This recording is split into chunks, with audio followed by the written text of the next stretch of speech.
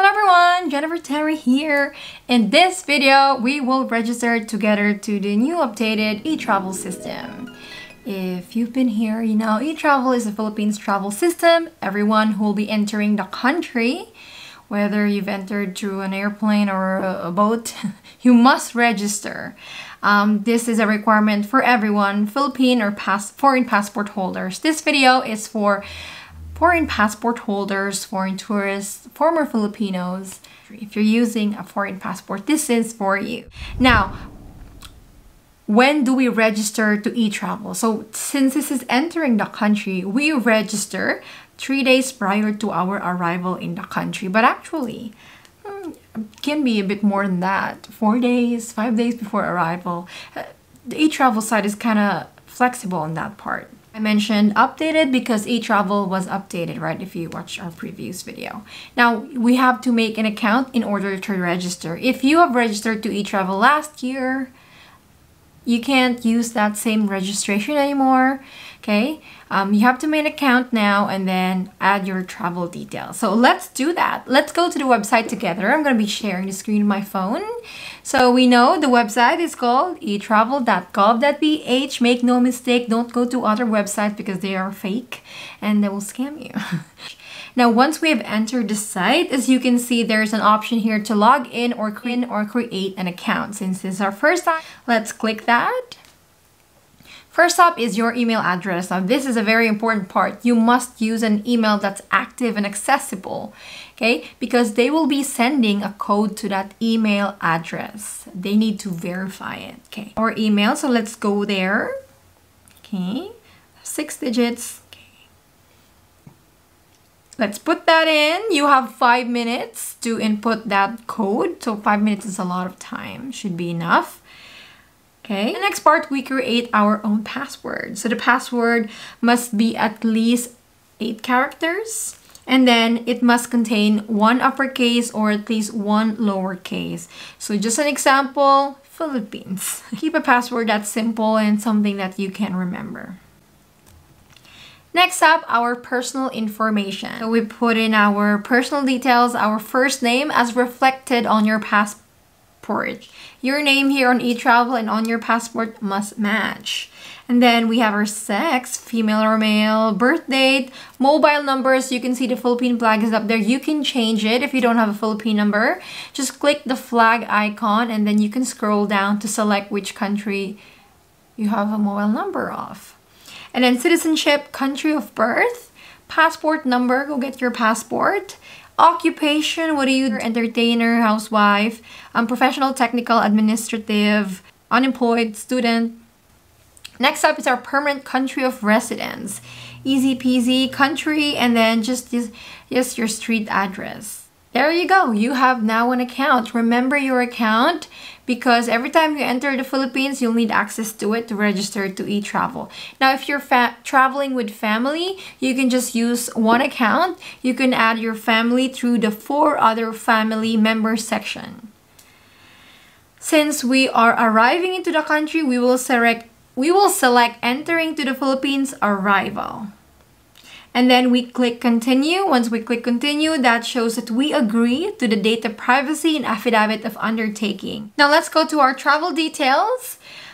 What is our purpose of travel? Okay, holiday, pleasure, visiting family or friends, convention, conference, government, up to you. But most of us will go with holiday, pleasure, or vacation. Traveler type, most of us, aircraft passenger, country of origin. For this video, it's the US. Destination upon arrival in the Philippines. Where are you going to be staying for the most of your, you know, stay in the Philippines? Is it going to be with your own house, with families or friends, residents, or in a hotel or resort, or are you just merely transiting in the country? As this is a video for foreign nationals, I know most of you will be staying in a hotel or resort, so let's click that. For hotel or resort, you can just type it in or you can use the search box. If you use the search box, it will automatically um, know, show the address of that hotel or resort. But it's understandable that not all hotels or resorts will be on this um, search box list. It will not show up. So uh, I would say just, if you can just type it, I think it would be easier.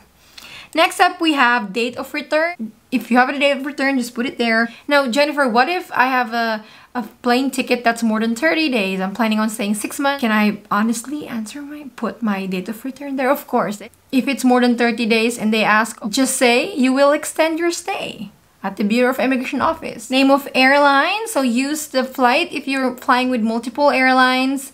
Use, uh, put the one that you'll be flying with that's landing in the Philippines. And then flight number for this video, I'll be flying with Philippine Airlines coming from Los Angeles, landing in Manila. So it's PR103. It should be on your itinerary. Easy. And then airport of arrival will automatically show. Seat or bed number is optional. You can leave it blank, up to you. Next up, we have health declaration. Um, we all know COVID stuff doesn't, it's irrelevant. Um, you don't need to declare your vaccination status or a test, whatever. But they would still be asking in which country you've you worked or visited or transited in the last 30 days. If it's merely a layover, you didn't get outside or airport, you don't need to put it there. Have you had any history of exposure to a person who is sick or known to have communicable infectious disease in the past 30 days? Yes or no? Have you been sick in the past 30 days? That's a very broad question. Yes or no? Hmm. But if you answer yes, you'll have to add your symptoms. But okay, Philippines. Yes or no? And that's it. Personal information, permanent country of residence, travel details, flight information, and health declaration. Expect that once you land in the Philippines, immigration will be a breeze. You will only have to show your passport. Now you have your QR code, you don't need to show this. As soon as they scan your passport, they will know instantly that, hey, it will show in the system this person has registered, this person has not registered. If you have not registered, you'll be sent on a corner and be asked to register. You can't skip e-travel, okay? So that is all guys. You can see at the bottom that there is an option for customs online declaration form. That is optional. If you were to ask me, I do not recommend to do it online. It's kind of complicated and yeah, I'd rather do the paper form upon arrival. They might distribute it during the flight or upon arrival in the country. Very easy to fill out no worries. There's also a note here also about currency declaration form. So how much money do you have to declare? If you're carrying more than 10,000 US dollars or its foreign equivalent, you'll have to declare it. They will ask what's the purpose of this money, where um, where's this coming from, that's it. If it's in, in the form of cash, um, bank checks, drafts, if your travel plans have changed or if you've made a mistake in answering one of the questions, you can go back to the website and click edit. Once you have your QR code, just save a copy of that, a screenshot, a photo on your phone. They will not ask for it, but it's it's good to have a proof that you have registered just in case, say, the people at the check-in counter ask you. If, let's say, you want to register in advance prior to your trip, yes, you can make your account. But you have to go back within three days before your arrival to register, okay?